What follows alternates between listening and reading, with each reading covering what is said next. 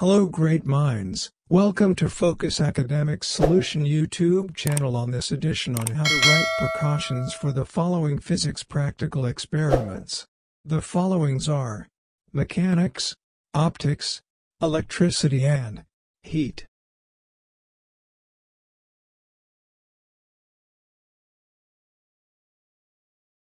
The simple pendulum experiment is used to determine the acceleration g due to gravity using the equation period t equals 2 pi square root of L over g, where L equals length of the pendulum. This equation is derived mathematically by assuming that the angle of displacement, or amplitude, is very small so that the bob oscillates in a straight line. Therefore, if the pendulum's swing becomes elliptical, the period measured would not be accurate.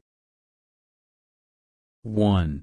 I ensured that the bob was displaced through a small angle of displacement in order to I. To maintain a uniform oscillation over a period of time.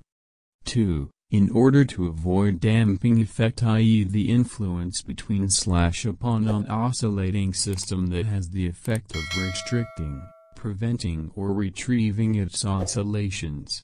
2. I ensured that I avoided conical oscillation or conical motion. 3. I ensured that I avoided parallax error of the meter rule. 4.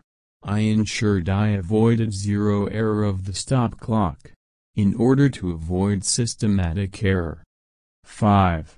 I ensured I took repeated readings in the timing in order to avoid random error. 6. I ensured that the windows were shut and the fans were off in order to avoid external air.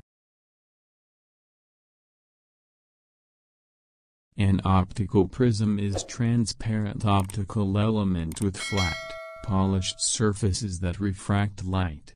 At least one surface must be angled, elements with two parallel surfaces are not prisms. 1. Make sure glass of slab is clean and it must be free from air bubbles. 2.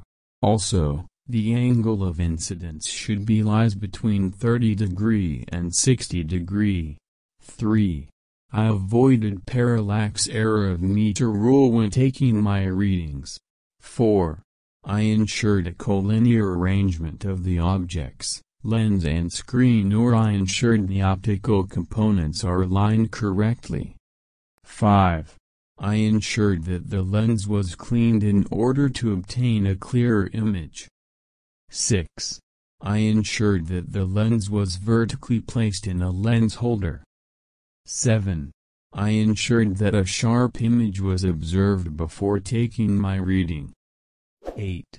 I ensured that the windows were closed using a curtain to obtain a sharp image and avoid external light interference. If you are a student preparing for exam, this is for you or maybe you are a teacher trying to refresh your brain before going to class. This is also very useful to you on electricity practical. 1.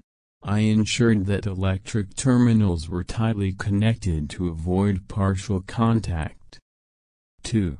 I ensured that the key was open when the readings were not taken in order to avoid running down the cell or battery. 3. I avoided parallax error of the voltmeter when taking my reading. 4.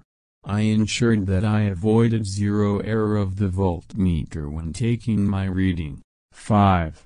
I ensured that I used short connecting wires to minimize the resistance of the lengthy wire and conserve the energy of the battery. Ohm's law, VIE, V equals IR, T and OPA constant. Low internal resistance offered by the cell is the reason EMF is always greater than PD. The calorimeter is a device used to measure the heat flow of a chemical or physical reaction. Calorimetry is the process of measuring this heat. It consists of a metal container to hold water above the combustion chamber and a thermometer to measure the temperature change. 1. A sufficient amount of solid powder should be used to cover the tip of the thermometer. 2. A sufficient amount of water should be taken in a hypsometer. 3. Dropping of solid should be quick and gentle. 4. To avoid excess radiation, the calorimeter should be polished from outside. 5. The temperature of cold water should not cross the dew point. 1. Avoided parallax error in reading thermometer slash weighing balance. 2. Avoided thermometer bulb from touching the bottom slash side of calorimeter. 3. Stirred continuously, gently the mixture in the calorimeter. 4. Noted slash corrected zero error of weighing balance.